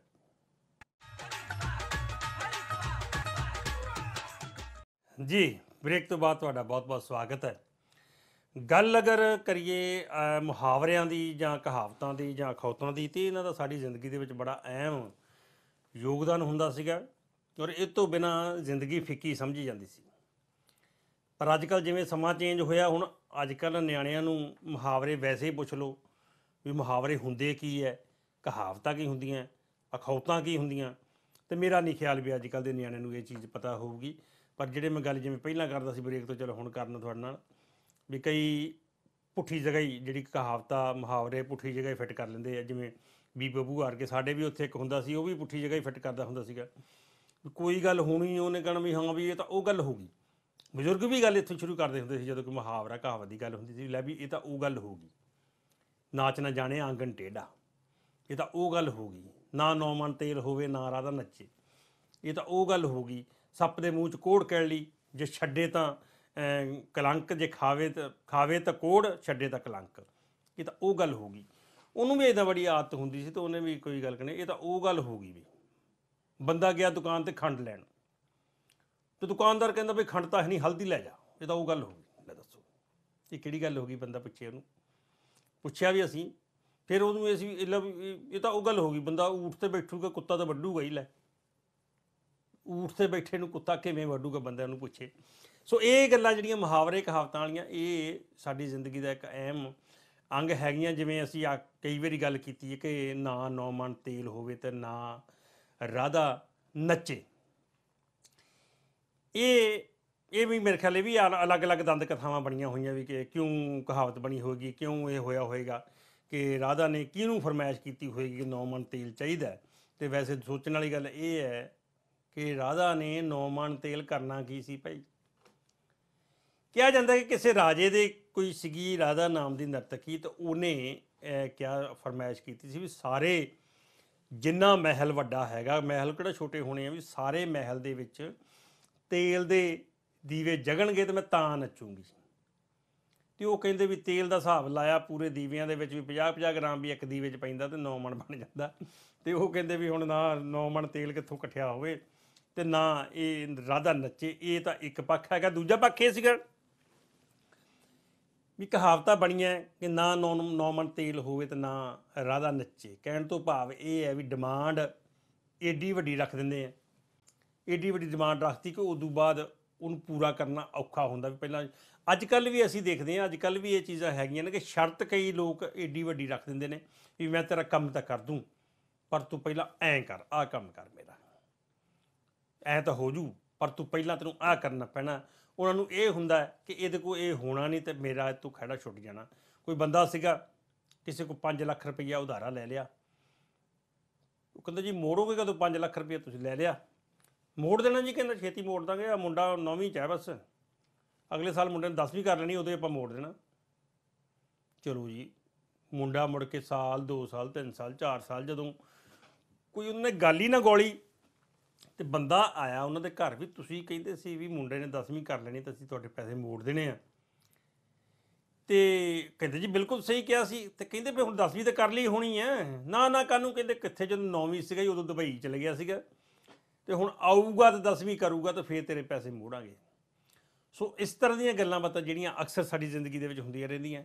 ਬਹੁਤ ਸਾਰੇ ਲੋਕ ਇਹਨਾਂ ਨੂੰ ਅਹ, ਸਾਨੂੰ ਇੱਕ ਕਿਸੇ ਦਰਸ਼ਕ ਨੇ ਇਹ ਵੀ ਕਿਹਾ ਸੀਗਾ ਫੋਨ ਆਇਆ ਸੀਗਾ ਜਿੱਥੇ ਜਿੱਥੇ ਫੋਨ ਇਹ ਆਉਂਦੇ ਨੇ ਕਿ ਇਸ ਮੁਹਾਵਰੇ ਦਾ ਆ ਮਤਲਬ ਸੀ, ਇਸ ਕਹਾਵਤ ਦਾ ਆ ਮਤਲਬ ਸੀ, ਇਹ ਫੋਨ ਆਉਂਦੇ ਬਾਅਦ ਦੇ ਵਿੱਚ ਮੇਰੇ ਮੋਬਾਈਲ ਤੇ। ਉੱਥੇ ਇੱਕ ਫੋਨ ਇਹ ਵੀ ਆਇਆ ਸੀਗਾ ਕਿ ਕੀ ਤੁਸੀਂ ਪੁਰਾਣੀਆਂ ਕਹਾਵਤਾਂ, ਮੁਹਾਵਰੇ ਲੈ ਕੇ ਬਹਿ ਜਾਂਦੇ ਹੋ? ਇਹਨਾਂ ਚੀਜ਼ਾਂ ਦਾ ਕੀ ਫਾਇਦਾ? ਫਾਇਦਾ ਤਾਂ ਕਿਸੇ ਚੀਜ਼ ਦਾ ਵੀ ਨਹੀਂ ਹੈ, ਫਿਰ ਆਪਾਂ ਹਿਸਾਬ ਲਾਈਏ। ਫਾਇਦੇ ਕਰਕੇ ਹੀ ਅਸੀਂ ਗੱਲ ਕਰਨੀ ਕੋਈ, ਤਾਂ ਫਿਰ ਉਹਦਾ ਕੀ ਫਾਇਦਾ? ਗੱਲ ਕਰਨੀ ਚਾਹੀਦੀ ਹੈ ਕਿਸੇ ਵੈਸੇ ਵੀ। ਕਹਿੰਦੇ ਜੀ, ਵਧੀਆ ਪ੍ਰੋਗਰਾਮ ਕਰਿਆ ਕਰੋ ਵਧੀਆ ਮੈਂ ਕਿਹਾ ਜੀ, ਵਧੀਆ ਦੱਸੋ ਕਿਹੜੇ ਹੁੰਦੇ? ਕਹਿੰਦਾ ਜੀ ਜਿਹਦਾ ਲੋਕਾਂ ਨੂੰ ਫਾਇਦਾ। ਮੈਂ ਕਿਹਾ ਉਹ ਦੱਸ ਦਿਓ ਕਿਹਦਾ ਫਾਇਦਾ ਹੁੰਦਾ ਉਹ ਦੱਸ ਦਿਓ। ਤੁਸੀਂ ਦੱਸ ਦਿਓ ਵੀ ਮੈਂ ਕਿੱਦਾਂ ਦਾ ਪ੍ਰੋਗਰਾਮ ਨਹੀਂ ਜੀ ਕਹਿੰਦੇ ਆ ਤਾਂ ਹੁਣ ਕੀ ਕਹਿ ਸਕਦੇ ਆ ਤੁਸੀਂ ਸਿਆਣੇ ਹੋ ਲਓ ਜੀ ਕਰ ਲਓ ਕਿ ਉਹਨੂੰ ਭਾਂਡਾ। ਮੈਂ ਕਿਹਾ ਸੋ ਇਸ ਤਰ੍ਹਾਂ ਦੇ ਰਲਾ ਮਿਲਿਆ ਪ੍ਰਤੀਕਰਮ ਜਿਹੜਾ ਆਉਂਦਾ ਬਾਕੀ ਮੁਹਾਵਰੇ ਕਹਾਵਤਾਂ ਦੀ ਗੱਲ ਕਰੀਏ ਵੀ ਤਾਂ ਫਾਇਦਾ ਨਹੀਂ ਇਹਦਾ ਹੈਗਾ। ਇਹ ਸਿਰਫ ਜਾਣਕਾਰੀ ਸਾਡੀ ਵੱਧਦੀ ਹੈ। ਜਾਣਕਾਰੀ ਜਦੋਂ ਵੱਧਦੀ ਹੈ ਤੇ ਕਈ ਵਾਰੀ ਕਈ ਵਾਰੀ ਟਾਵਾਂ ਟਾਵਾਂ ਚਾਹੇ ਪੁੱਛੇ, ਕੋਈ ਵਿਰਲਾ ਵਾਂਝਾ ਹੀ ਪੁੱਛੇ, ਨਿਆਣਾ ਪੁੱਛ ਲੈਂਦਾ ਉਹਦੇ ਬਾਰੇ, ਤਾਂ ਉਹਦੇ ਨਾਲ ਉਹ ਨਾਲ ਜੁੜਦਾ। ਹਾਲਾਂਕਿ ਜਿਹੜੇ ਘਰਾਂ ਦੇ ਵਿੱਚ ਦਾਦੀਆਂ ਨਾਨੀਆਂ ਰਹਿੰਦੀਆਂ ਨੇ, ਉਹਨਾਂ ਘਰਾਂ ਦੇ ਵਿੱਚ ਨਿਆਣੇ ਪੁੱਛਦੇ ਨੇ, ਕਿਉਂਕਿ ਨਿ- ਨਿਆਣੇ ਉੱਥੇ ਪਿਓਰ ਪੰਜਾਬੀ ਬੋਲਦੇ ਨੇ, ਉਹਨਾਂ ਘਰਾਂ 'ਚ ਪੰਜਾਬੀ ਤਾਂ ਬੋਲਦੇ ਨੇ ਕਿ ਉਹਨਾਂ ਦੀ ਮਜਬੂਰੀ ਹੈ ਕਿ ਦਾਦੀ ਨਾਨੀ ਨੂੰ ਅੰਗਰੇਜ਼ੀ ਆਉਂਦੀ ਨਹੀਂ, ਇਸ ਕਰਕੇ ਉਹਨਾਂ ਨੂੰ ਪੰਜਾਬੀ ਬੋਲਣੀ ਪੈਂਦੀ ਹੈ। ਇਸੇ ਕਰਕੇ ਹੀ ਹਜੇ ਸਾਡੀ ਪੰਜਾਬੀ ਜਿਹੜੀ ਬਚੀ ਹੋਈ ਆ ਬਾਹਰਲੇ ਮੁਲਕਾਂ ਦੇ ਵਿੱਚ ਨਹੀਂ ਤਾਂ ਇੰਗਲੈਂਡ ਦੇ ਵਿੱਚ ਹੁਣ ਦਾਦੀਆਂ ਨਾਨੀਆਂ ਰਹੀਆਂ ਨਹੀਂ ਚੌਥੀ ਪੀੜ੍ਹੀ ਸ਼ੁਰੂ ਹੋ ਗਈ ਆ ਤੇ ਉੱਥੇ ਪੰਜਾਬੀ ਦਾ ਵੀ ਉਹੀ ਹਾਲ ਹੈ ਪੰਜਾਬੀ ਪੱਗਾਂ ਵਾਲੇ ਦਿਸਦੇ ਨੇ ਪਰ ਪੰਜਾਬੀ ਉਹ ਬੋਲਦੇ ਜਿਹੜੇ ਉਹ ਨਹੀਂ ਦਿਸਦੇ। ਸੋ ਇਹ ਗੱਲਾਂ ਬਾਤਾਂ ਤੁਹਾਡੇ ਨਾਲ ਇਸ ਤਰ੍ਹਾਂ ਚੱਲਦੀਆਂ ਰਹਿਣੀਆਂ ਤੇ ਫਿਲਹਾਲ ਬ੍ਰੇਕ ਦਾ ਸਮਾਂ ਹੋ ਗਿਆ ਬ੍ਰੇਕ ਤੋਂ ਬਾਅਦ ਫਿਰ ਕਰਾਂਗੇ ਇਸੇ ਤਰ੍ਹਾਂ ਗੱਲਾਂ ਬਾਤਾਂ ਦੇਖਦੇ ਰਹੋ। ਜਸ ਪੰਜਾਬੀ।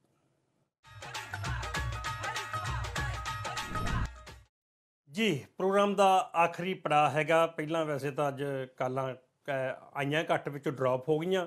ਪਰ ਹੁਣ ਕਾਲਾਂ ਜਦੋਂ ਆਈਆਂ ਤੇ ਹੁਣ ਕਾਲਾਂ ਲੈਣ ਦਾ ਸਮਾਂ ਜਿਹੜਾ ਉਹ ਨਹੀਂ ਰਿਹਾ। ਖੈਰ, ਤੁਸੀਂ ਕੋਈ ਵੀ ਗੱਲਬਾਤ ਕਰਨੀ ਚਾਹੁੰਦੇ ਹੋ ਤਾਂ ਈਮੇਲ ਕਰ ਸਕਦੇ ਹੋ। ਹੁਣ ਕੈਲੀਫੋਰਨੀਆ ਦੇ ਵਿੱਚੋਂ ਤੁਹਾਨੂੰ ਪਤਾ ਹੈ, ਇੱਕ ਪ੍ਰੋਗਰਾਮ ਮੈਂ ਲਾਈਵ ਕਰਦਾ ਤੇ ਸਾਰੇ ਜਿੰਨੇ ਇੱਥੇ ਰਹਿੰਦੇ ਨੇ, ਦੋਸਤ, ਮਿੱਤਰ, ਪੰਜਾਬੀ ਕਿਤੇ ਵੀ ਰਹਿੰਦੇ ਨੇ, ਉਹਦੇ ਸਾਰੇ ਵਿਚਰਦੇ ਆ ਤੇ ਅਸੀਂ ਇੱਥੇ ਹੁਣ ਦੋ ਪ੍ਰੋਗਰਾਮ ਜਿਹੜੇ ਹਜੇ ਸ਼ੁਰੂ ਕੀਤੇ ਰੀਸੈਂਟਲੀ ਇੱਕ ਤਾਂ ਹੈਗਾ ਇਹ ਬਿੱਕਰ ਬਾਦਸ਼ਾਹ, ਜਿਹੜਾ ਕਿ ਚੱਲ ਰਿਹਾ ਪੂਰਾ ਵਧੀਆ, ਐਨ ਔਰ ਪੂਰੀ ਉਹਦੀ ਡਿਮਾਂਡ ਹੈ। ਜਿੱਥੇ ਵੀ ਜਾਂਦੇ ਤਾਂ ਹਰ ਬੰਦਾ ਕਹਿੰਦਾ ਵੀ ਬਿੱਕਰ ਬਾਦਸ਼ਾਹ ਦਾ ਸਾਡਾ ਕਰ ਹੀ ਲਓ ਪ੍ਰੋਗਰਾਮ। ਇੱਕ ਪ੍ਰੋਗਰਾਮ ਅਸੀਂ ਸ਼ੁਰੂ ਕਰ ਰਹੇ ਹਾਂ ਬਹੁਤ ਜਲਦੀ। ਉਹ ਹੈਗਾ ਟਰੱਕ ਸ਼ੋ ਦਾ ਟਰੱਕ ਸ਼ੋ ਟਰੱਕਾਂ ਬਾਰੇ ਸ਼ੋ ਹੈਗਾ ਮਾਈਲਜ਼ ਇਨ ਸਟਾਈਲ। ਮਾਈਲਜ਼ ਇਨ ਸਟਾਈਲ ਟਰੱਕਾਂ ਦੀ ਅੱਜਕੱਲ ਕਾਫੀ ਹਾਲਤ ਜਿਹੜੀ ਹੈ ਡਾਮਾਡੋਲ ਜੀ ਹੋਈ ਹੈ ਟਰੱਕ ਬਿਜ਼ਨਸ ਦੀ। ਬਹੁਤ ਸਾਰੇ ਲੋਕ ਬਿਜ਼ਨਸ ਬੰਦ ਕਰੀ ਜਾਂਦੇ ਨੇ। ਉਹਦੇ ਬਾਰੇ ਜਾਣਕਾਰੀ ਦੇਣ ਵਾਸਤੇ, ਉਹਦੇ ਵਾਸਤੇ ਅਵੇਅਰ ਕਰਨ ਵਾਸਤੇ ਸਾਨੂੰ ਕੀ ਕਰਨਾ ਚਾਹੀਦਾ, ਕੀ ਨਹੀਂ ਕਰਨਾ ਚਾਹੀਦਾ। ਇਹ ਪ੍ਰੋਗਰਾਮ ਦਾ ਟਰੱਕ ਸ਼ੋ ਇਹ ਵੀ ਬਹੁਤ ਜਲਦੀ ਤੁਹਾਡੇ ਨਾਲ ਸ਼ੁਰੂ ਕਰਕੇ, ਸ਼ੁਰੂ ਕਰਨ ਜਾ ਰਹੇ ਹਾਂ।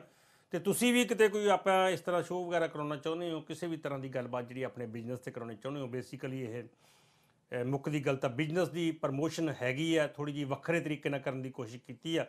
ਤਾਂ ਤੁਸੀਂ ਵੀ ਮੈਨੂੰ ਈਮੇਲ ਕਰ ਸਕਦੇ ਹੋ jaggi@justbroadcasting.com ਜਾਂ ਫਿਰ info@justbroadcasting.com ਇਸ ਤੋਂ ਇਲਾਵਾ ਫੇਸਬੁੱਕ ਟਵਿੱਟਰ ਹੈਗਾ ਨਾਲ ਨਾਲ ਮੇਰਾ ਸੈੱਲ ਨੰਬਰ ਤੁਹਾਡੇ ਕੋਲੇ ਹੈਗਾ 209 450 3362 2094503362 ਅੱਜ ਲਈ ਇੰਨਾ ਹੀ ਕਾਫੀ ਗੁਸਤਾਖੀ ਲਈ ਮਾਫੀ ਅਖੀਰ ਸਭ ਨੂੰ ਪਿਆਰ ਭਰੀ ਸਤਿ ਸ਼੍ਰੀ ਅਕਾਲ। ਖੁਸ਼ ਰਹੋ, ਖੁਸ਼ ਰੱਖੋ, ਰੱਬ ਰੱਖਾ ਜੀਵੇ ਪੰਜਾਬ, ਜੀਵੇ ਪੰਜਾਬੀ।